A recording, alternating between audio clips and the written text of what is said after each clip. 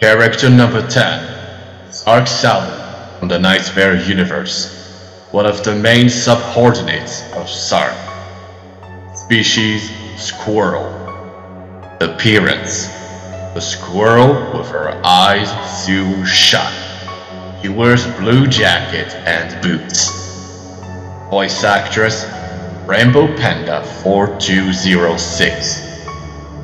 Description He is mostly cold blooded, a devoted partner to her master.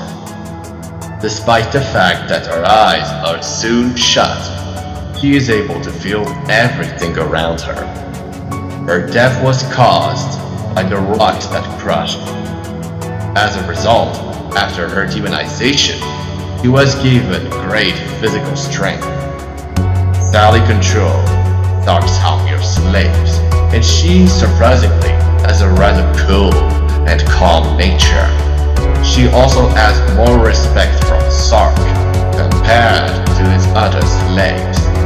Along with this, she has developed feelings for him over time, but she manages to keep it hidden deep within her heart. Sally typically treats Xantier with a certain contempt, Sark, but she seems to have a small bit of respect for him.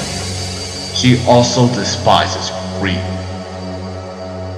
Appearances Nightmare Short, Episode 2 Sally.exe Continued Nightmare